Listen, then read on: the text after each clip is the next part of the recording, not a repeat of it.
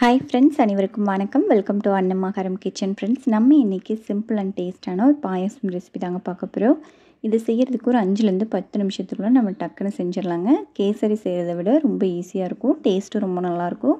கண்டிப்பாக இந்த ரவை பாயாசத்தை ஒரு தடவை ட்ரை பண்ணி பாருங்கள் இப்போ வாங்க நம்ம இந்த ரெசிபியை எப்படி செய்கிறதுன்னு பார்த்துடலாம் இப்போ இதுக்கு ஒரு கடாய் வச்சுக்கோங்க. அதில் ரெண்டுலேருந்து மூணு டீஸ்பூன் அளவுக்கு நெய் சேர்த்துக்கலாம்.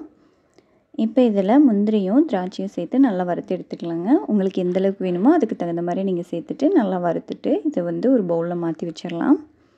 இப்போ இதிலையே கால் கப் அளவுக்கு ரவை சேர்த்துக்கலாங்க. சேர்த்துட்டு இதை வந்து நல்லா வறுத்து எடுத்துக்கோங்க. லோ ஃப்ளேமில் வச்சு நல்லா கருகிடாமல் மனம் வர வரைக்கும் நல்லா வறுத்துக்கோங்க. நம்மளுக்கு கொஞ்சம் கலர் மாற ஆரம்பிக்கும். அந்தளவுக்கு நல்லா வறுத்து எடுத்துக்கலாம்.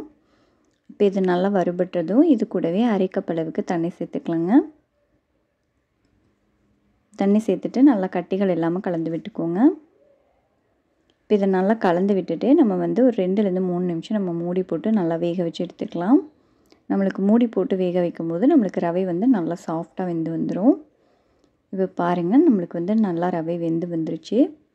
உங்களுக்கு வேகலைன்னா நீங்கள் இன்னும் கொஞ்சம் கூட தண்ணி சேர்த்துட்டு நல்லா வேக வச்சு எடுத்துக்கோங்க. அப்படி இல்லைன்னா இதுக்கு சர்க்கரை சேர்க்கறதுக்கு முன்னாடி நீங்கள் பால் சேர்த்துக்கோங்க. அப்போ நம்மளுக்கு ரவை வந்து வெந்துடும் இப்போ இதில் அரைக்கப் அளவுக்கு சர்க்கரை சேர்த்து இதையும் நல்லா கலந்து விட்டுக்கலாம். இப்போ இது கூடவே அரை லிட்டர் அளவுக்கு காய்ச்சி ஆற வச்ச பால் சேர்த்துக்கோங்க. இப்போ நல்லா கலந்து விட்டுக்கலாம். இப்போ இது கூடவே வாசனைக்காக கால் டீஸ்பூன் அளவுக்கு ஏலக்காய் பொடி சேர்த்துக்கோங்க. கொஞ்சமாக உப்பு சேர்த்துக்கலாங்க. நம்மளுக்கு இனிப்பு சுவையை வந்து நல்லா எடுத்து கொடுக்கும். இப்போ இதை நல்லா கலந்து விட்டுட்டு இதை வந்து ஒரு அஞ்சுலேருந்து எட்டு நிமிஷம் வரைக்கும் நம்ம லோ ஃப்ளேமில் வச்சு நல்லா கொதிக்க வச்சு எடுத்துக்கலாங்க. நம்மளுக்கு வந்து நல்லா திக்காய் வந்துடும் இப்போ பாருங்கள் நம்மளுக்கு நல்லா திக்காயிருச்சு இது வந்து நம்மளுக்கு கரெக்டாக இருக்குங்க ஆறும்போது. இப்போ நம்ம வறுத்து வச்சுருந்த முந்திரியும் திராட்சையும் சேர்த்து நல்லா கலந்து விட்டுக்கலாம். உங்களுக்கு இன்னும் திக்காக வேணும்னா நீங்கள் இன்னும் ரெண்டு மூணு நிமிஷம் நல்லா கொதிக்க வச்சு எடுத்துக்கோங்க.